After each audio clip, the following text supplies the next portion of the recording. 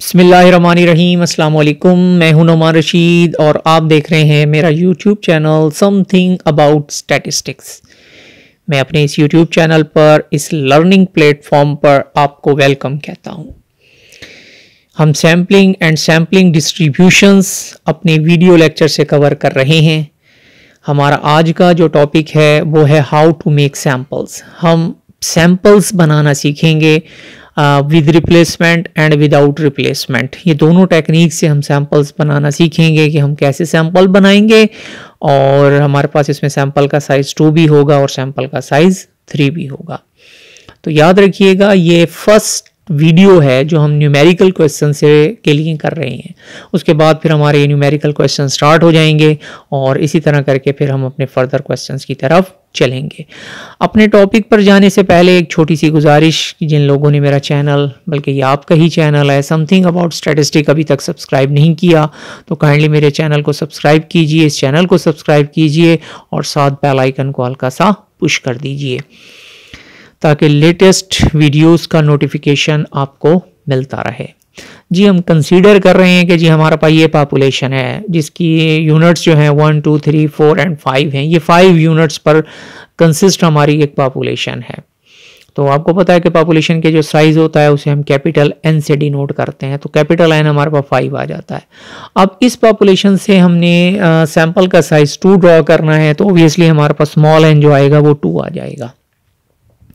अब याद रखिएगा ऑल पॉसिबल सैंपल्स जो हमारे पास बनते हैं, वो कैसे बनेंगे जी? एन की पावर स्मॉल एन होती है तो कैपिटल एन फाइव है तो स्मॉल एन जो होगा जी, हमारे पास टू होगा। तो अगर हम इसकी पावर को सॉल्व करते हैं फाइव की पावर टू लेते हैं तो आपको पता होना चाहिए वो ट्वेंटी फाइव बनेगा। अब अब ये फॉर्मूला हमें ये बता चुका कि हमें टोटल सैंपल्स बनाने पड़ेंगे इस पॉपुलेशन से ट्वेंटी फाइव अब सवाल ये आता है कि ये आखिर हम पॉपुलेशन से सैंपल्स बनाएँगे कैसे? तो उसके लिए एक रूल याद रख लीजिए, जो मैं इस वक्त आपके सामने हाईलाइट भी कर रहा हूँ। और देख लीजिए, मैं इसको सेपरेट ले गया हूँ। इसका तरीकाकार जी आपके पास क्या होगा? फ़र्स्ट ऑफ़ ऑल आपने अपनी इस पॉपुलेशन को जो ऑल पॉसिबल सैंपल्स आपके पास बने हैं, उसको आपने अपनी पॉपुलेशन के साइज़ पर डिवाइड करना है। यानी कि 25 को आपने डिवाइड करना है 5 पर। तो आपके पास क्या आ जाएगा जी? 5 आ जाएगा। फिर इसको फर्दर डिवाइड करेंगे। जब तक 1 नहीं आएगा, आप इसको डिवाइड करेंगे। तो जब आप इसको फर्दर डिवाइड करेंगे तो आपके पास क्या आ जाएगा? 1 आ जाएगा। अब ये हमें ये बता रहा है कि फाइव का मतलब क्या? ये चीज़ हमें अब ये बता रही है कि हमने हर एलिमेंट को फाइव टाइम्स लिख लेना है। जैसे हमने इसको फाइव टाइम्स लिखा। वन को हमने फाइव टाइम्स लिख लिया। इसी तरह टू को फाइव टाइम्स लिख लिया। थ्री को फाइव टाइम्स लिख लिया। फोर को फाइव टाइम्स लिख लिया, फिर इसी तरह फाइव को फाइव टाइम्स लिख लिया, और फिर अब वन आ रहा है तो हर एलिमेंट वन टाइम आएगा, यानी कि one two three four five इसी तरह वन टू थ्री यानी कि इसी टू के साथ हमने हर एलिमेंट वन टाइम लिखते चले जाना है। One two three four one two three four and one two three four five तो ये हमारे पास ट्वेंटी फाइव सैम्पल्स आपके पास बन जाते हैं। फिर दोबारा सुन लीजिए। टोटल ऑल पॉसिबल सैंपल्स बनेंगे। एन की पावर स्मॉल एन तो वो फाइव की पावर टू बनेगा, जो कि ट्वेंटी फाइव बनते इस ट्वेंटी फाइव को आपने पॉपुलेशन की पॉपुलेशन की तादाद पर आपने डिवाइड करना है जी। जब ये डिवाइड हो जाएगा तो हमारे पास फिर इसको पॉपुलेशन से डिवाइड करेंगे फाइव आएगा, फिर फाइव को फाइव पे डिवाइड करेंगे वन आ जाएगा। अब ये फाइव हमें ये बता रहा है कि हर एलिमेंट जो है वो फाइव टाइम लिखा जाएगा। वन को फाइव टाइम लिखेंगे टू को फाइव टाइम लिखेंगे थ्री को five time same as four को और फाइव को। फिर हर एलिमेंट वन टाइम लिखा जाएगा तो वन टू थ्री फोर इसके साथ वन आ जाएगा। फिर टू थ्री फोर इस तरह करके ये हमारे पास टोटल जो सैम्पल्स बनेंगे, वो ट्वेंटी फाइव सैम्पल्स बनेंगे। ये एज इट इज़ ही लिखता आ रहा हूँ। टू टू, फिर इसके साथ one, two, three, four add करते जाएँगे, one, two, three, four add करते जाएँगे, one, two, three, four, five add करते जाएँगे। तो ये तरीका कार होगा। इसी तरह मैं आपको डायरेक्ट सैंपल के साइज़ थ्री पे लेके जा रहा हूँ, फिर आपको बताता हूँ, अगर सैंपल का साइज़ थ्री हो तो फिर क्या सूरत हाल होगी, तरीका यही रहेगा जी। अब क्या है जी, हमारे पास वन, टू, थ्री है हमारे पास पॉपुलेशन और सैंपल का साइज़ कैपिटल एन है और स्मॉल साइज़ है हमारे पास ये। तो अब याद रखिएगा कि हम इससे भी सैंपल वैसे ही बनाएँगे जैसे हमने इससे बना लिए हैं टू से बनाए हैं। उसमें फ़र्क कोई भी नहीं आएगा हमारे पास, सारा का सारी कैलकुलेशन हमारे पास जो होगी वो वैसी की वैसी ही रहेगी जैसे हमने पहले की है। अब 27 ऑल पॉसिबल सैंपल्स बन रहे हैं तो 27 को हमने थ्री पे पॉपुलेशन के साइज़ पर डिवाइड किया है नाइन आ गया। एक स्टेप और हम आगे चलेंगे नाइन को फिर थ्री से डिवाइड करेंगे तो थ्री आ जाएगा, फिर थ्री को, फिर वन थ्री से डिवाइड करेंगे तो वन आ जाएगा। अब इसका मतलब ये है कि हमने हर एलिमेंट जो है पहले नाइन टाइम्स लिख लेना है। हमने हर एलिमेंट को नाइन टाइम्स लिख लेना है। तो जब हम इसको नाइन टाइम्स लिखेंगे तो आप देख सकते हैं कि जी हमने इसको कैसे बनाया। मैं थोड़ा सा और इसको विजिबल कर लेता हूँ। तो ये मैंने जी हर एलिमेंट नाइन टाइम्स लिखा हुआ है। One two three one one one ये नाइन टाइम है। यानी कि one two three four five six seven eight और ये नाइन तो one two three four five six seven eight और नाइन अब मैंने अगले स्टेप में क्या करना है कि जी हर एलिमेंट को थ्री टाइम्स लिख लेना है। जैसे मैंने थ्री टाइम्स लिख लिया one one one two two two two को इसी तरह थ्री को थ्री टाइम्स लिख लेंगे। बिल्कुल इसी तरह अब अगले स्टेप में क्या करना है? हर एलिमेंट को मैंने कितने टाइम लिखना है जी? वन टाइम लिखना है। तो मैंने इसको अब क्या कर देना है जी? वन टाइम इसको मैं लिख लेता हूँ। तो मेरे पास ऑल पॉसिबल सैंपल बन जाएँगे। अब इसको मैंने वन टाइम लिखना है तो वन आ जाएगा। फिर इसी तरह करके मेरे पास दूसरा एलिमेंट क्या है टू है तो फिर इसी तरह करके थ्री आ जाएगा। बिल्कुल इसी तरह करके यहाँ पर फिर वन आएगा, फिर इसी तरह करके यहाँ पर टू आएगा। फिर नेक्स्ट स्टेप में जाऊँगा तो फिर यहाँ थ्री आएगा, फिर यहाँ करूँगा तो फिर वन आएगा, फिर इस स्टेप पे जाऊँगा तो टू आएगा, और फिर स्टेप पर जाऊँगा तो फिर मेरे पास क्या आ जाएगा? जी। थ्री आ जाएगा।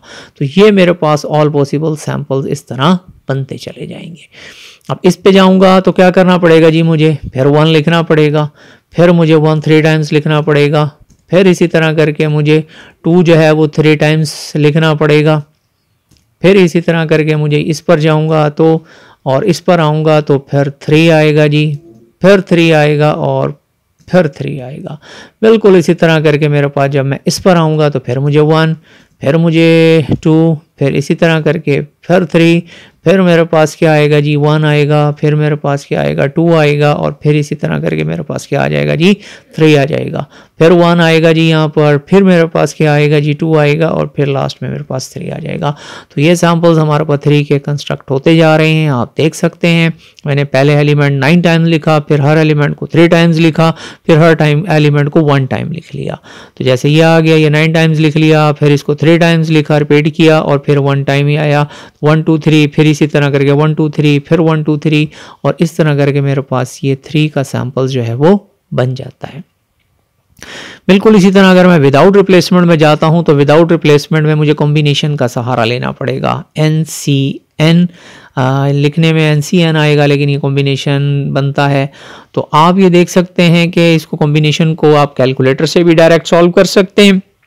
अगर आपको डायरेक्ट कैलकुलेटर का सहारा नहीं आता तो आप इस तरह कॉम्बिनेशन बनाकर फैक्टोरियल से इसको सॉल्व कर लीजिएगा। फाइव फैक्टोरियल ये टू फैक्टोरियल होता है और फाइव माइनस टू फैक्टोरियल बनेगा। मैंने फाइव फैक्टोरियल को एक्सपेंड किया है तो five four three two one बनेगा आगे। वन फैक्टोरियल वन के इक्वली होता है तो टू थ्री टू वन अब से सारे कैंसिल हो जाएँगे हमारे पास। तो मेरे पास जो आंसर आता है, वो आता है टेन तो ऑल पॉसिबल सैंपल्स जो इससे बनेंगे, वो मेरे पास टेन बनेंगे। याद रखिएगा कि यहाँ पर एक छोटी सी बात आपको वजाहत करता चलूँ कि असल में जब हम विदाउट रिप्लेसमेंट कर रहे होते हैं तो वहाँ पर हमारे पास जो ऑल पॉसिबल सैम्पल्स बनते हैं, या तो हम कॉम्बिनेशन का सहारा ले लेते हैं अदरवाइज़ ये कॉम्बिनेशन नहीं होता, बल्कि हमारे पास ये परमोटेशन बनता है। मेरे पास इसका एक प्रूफ भी है इंशाल्लाह एक वीडियो हम उसकी भी कवर करेंगे कि विदाउट रिप्लेसमेंट कैस का पर, पर, परमोटेशन क्यों बनता है। तो वो एक वीडियो इंशाल्लाह हम उसकी कवर करेंगे लेकिन फ़िलहाल मैं आपको सिर्फ़ कॉम्बिनेशन से ही बता रहा हूँ क्योंकि बुक में भी कॉम्बिनेशन ही है। तो आप अपने जहन में अपनी पॉपुलेशन को लेकर आइए जी। One two three four five है जी आपके पास पॉपुलेशन तो आपके पास रिपीट नहीं होंगे। मैं यहाँ आपको बता दूँ कैसे बनेगा। वन को टू के साथ अटैच करेंगे वन को फिर थ्री के साथ अटैच करेंगे वन को फोर के साथ अटैच करेंगे और वन को फिर फाइव के साथ अटैच करेंगे। बिल्कुल इसी तरह अब वन टू नहीं बनेगा। आगे हम टू वन भी नहीं बना सकते। हम जाएँगे टू को थ्री के साथ टू को फोर के साथ बनाएँगे और टू को फाइव के साथ। बिल्कुल इसी तरह, फिर पीछे नहीं आ सकते तो फिर हम थ्री को फोर के साथ थ्री को फाइव के साथ। मैंने आपके लिए सैंपल्स बनाए हुए हैं, आप ये देख सकते हैं। यस वन को टू के साथ वन को थ्री के साथ वन को फोर के साथ वन को फाइव के साथ। अब टू वन नहीं होगा जी, क्योंकि टू और टू वन और वन टू एक टू वन और वन टू एक ही चीज़ है। बिल्कुल इसी तरह करके हम वन थ्री तो हम क्या बनाएँगे जी टू को? थ्री के साथ, फिर टू फोर के साथ टू फाइव के साथ, बिल्कुल इसी तरह करके थ्री फोर के साथ थ्री फाइव के साथ। अपनी पॉपुलेशन को अगर आप यहाँ लिखना चाहें तो आप अपने जहन में लिख लीजिए। वन है जी फिर हमारे पास क्या है? टू है, फिर हमारे पास थ्री है, फिर हमारे पास फोर है, और फिर हमारे पास जो है जी, ये फाइव है। जी तो ये पॉपुलेशन है हमारे पास।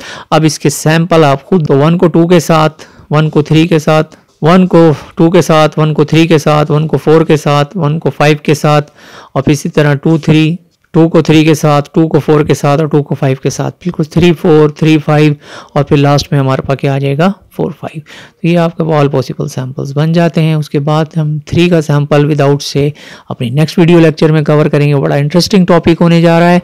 तब तक के लिए मुझे इजाज़त दीजिए। अपना बहुत सा ख्याल रखिएगा। अल्लाह हाफिज़।